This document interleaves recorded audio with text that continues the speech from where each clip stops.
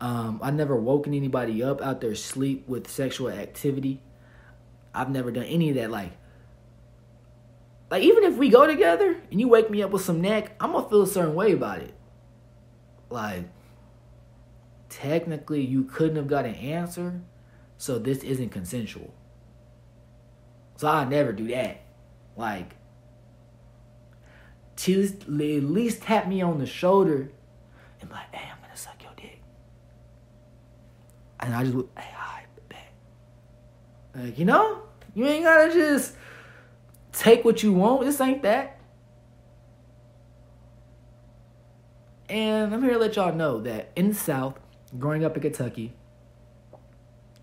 there's a lot of toxic shit that goes on. Like, let's go to these notes. I got these notes right here. There's a lot of toxic shit. I want to make sure I'm saying this right. Yeah, yeah, yeah. Um, where is that? Hold on. Fuck. I thought I had that shit written down. Fuck. Oh yeah, yeah, yeah.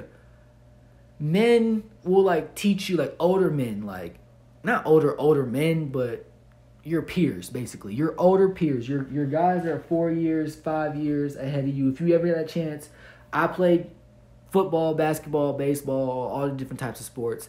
And in high school, freshman, sophomore year, like I already knew all the older guys because I played sports in that county my entire life. I've seen them at AAU practice, the four years older the guys, the guys that graduated 08.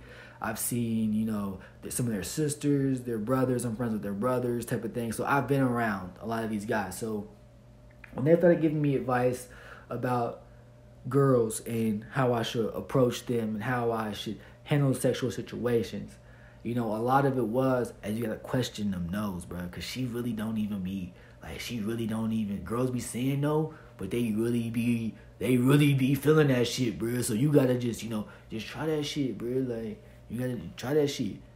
I'm here to tell y'all, bro. If you do that, that's sexual assault, bro. Don't do that, my nigga. If you're 15, 16, 17, 18, 19, 20, 21, 22, 23, if you're 100 years old, nigga, don't do that. Don't question nobody's no. Just because you feel the moment, it might be the moment, it might be the time. But if she wants to skip out on that moment, she has the right to skip out on that moment, bro. It does not matter how romantic it feels, does not matter how right it feels. If she says no, shit, if you say no, then it's fucking no.